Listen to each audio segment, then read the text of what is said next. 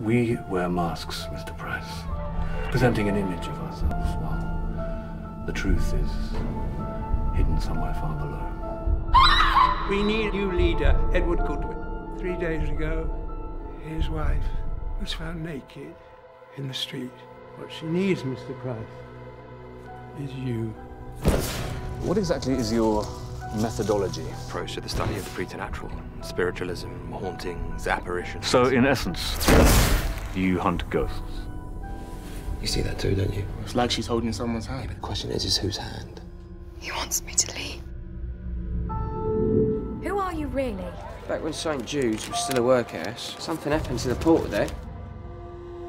Can't even remember the boy's name. You brought him here, here to my house. I'm not your lapdog, Harry. And what makes you think I want to help you? When was the last time you saw him?